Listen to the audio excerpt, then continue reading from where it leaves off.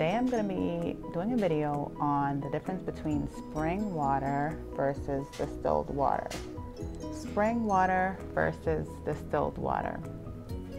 A lot of people say, what's, what's the difference between the two and which one is better? Okay. Okay, so spring, what's the difference between the two?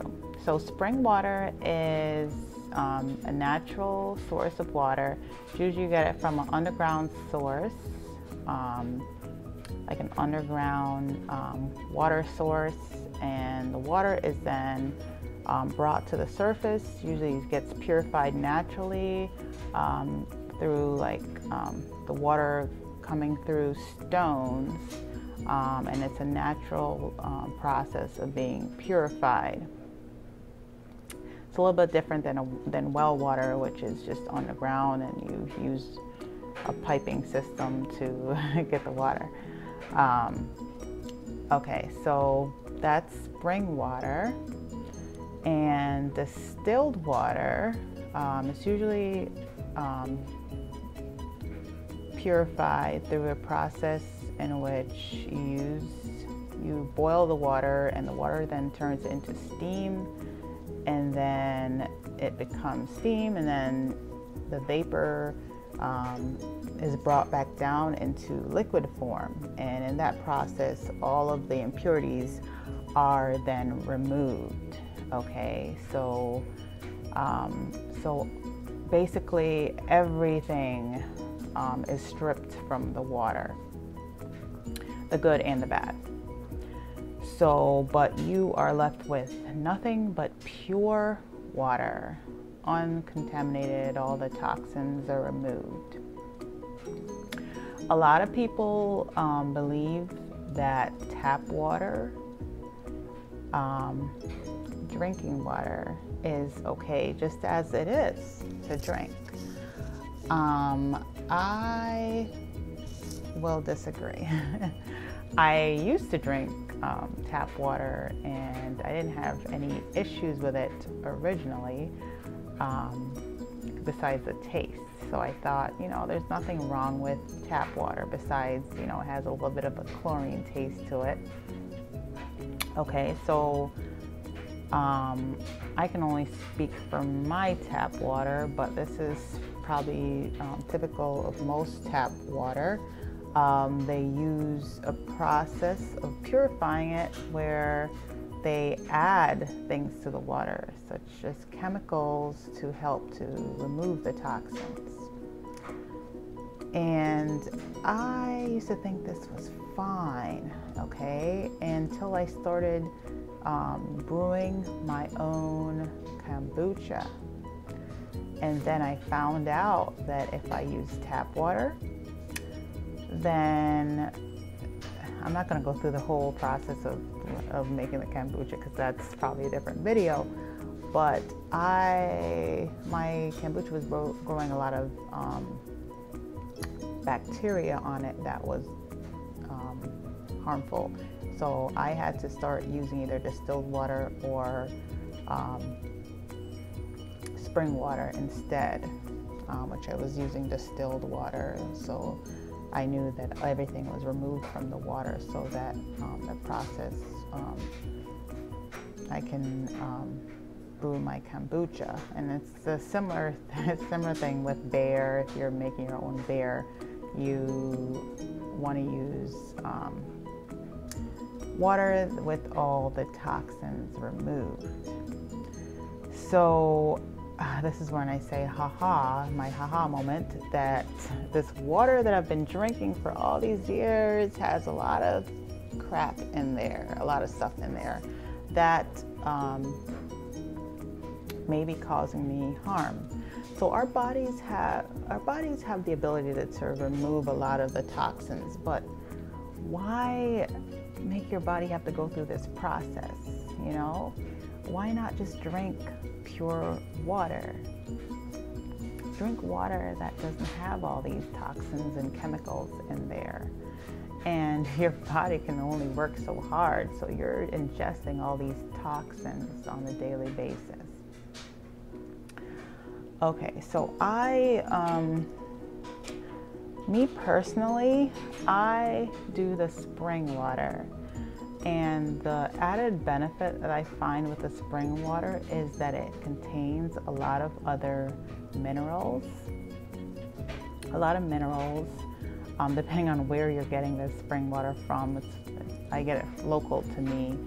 Um, you know, it has different springs have different minerals um, in there.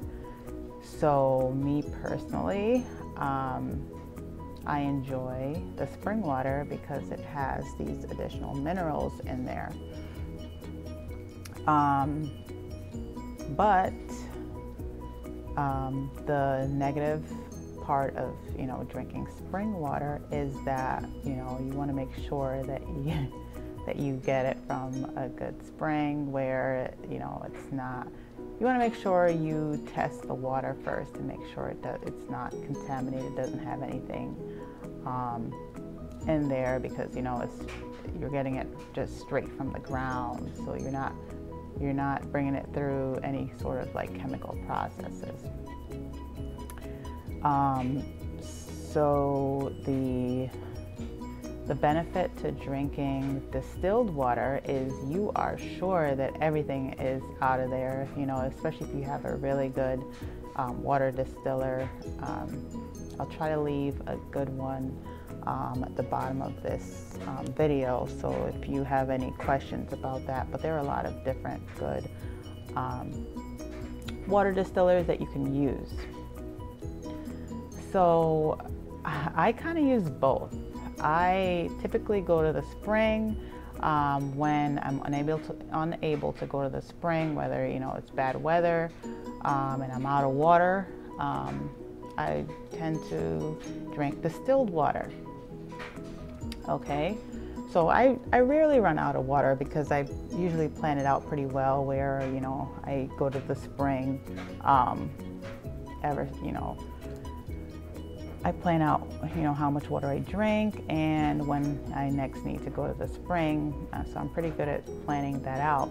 But there are times where, you know, the weather is pretty bad and I know that, you know, there's no way I'm going to be able to make it up there for a while. Um, I drink distilled water.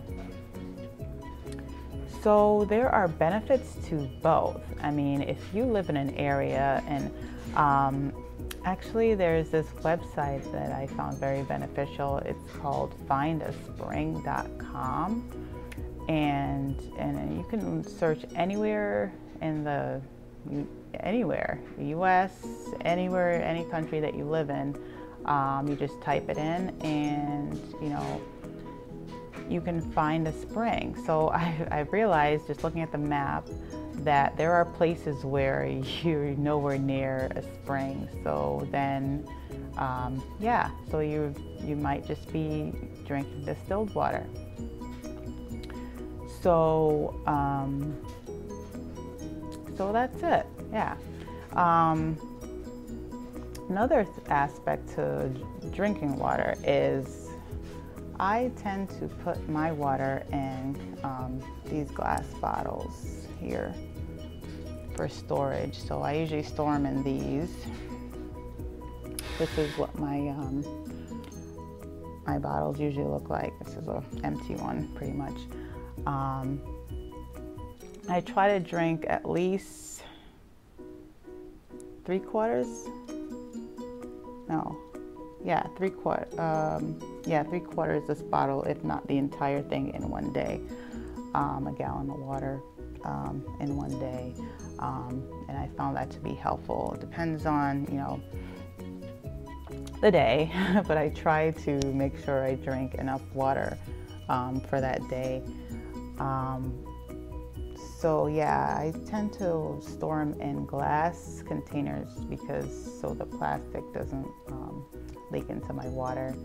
Um, so it's like, what's the sense of you know making sure you're drinking good water if you then put it in a cheap plastic bottle?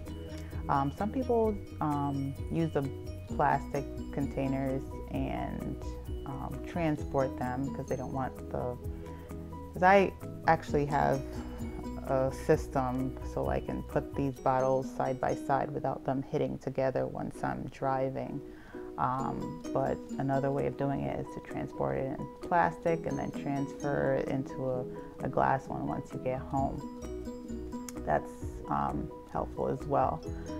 Um, so yeah, so I think that's it. That's all I'm going to share with you. You know, you have a good, um, get a good purifier, um, water purifier. Um, make sure you get it, get your spring water from a good source. If you want to use the spring water, um, the added benefit to drinking spring water is you um, you have a great source of water and you have lots of great minerals in the water, such as calcium, trace minerals um, that can that are have, provide you with additional benefits. The setback to the spring water is, you know, you want to make sure you test the water, make sure that it is, um, you know, doesn't have any contaminants in there, and um, you also want to make sure you're aware of what the pH level is, you know, the all the source, all the springs I've gone to so far, the pH levels are always a little bit different. And um, so thank you for watching my video. Um, hope you benefited from this in some way.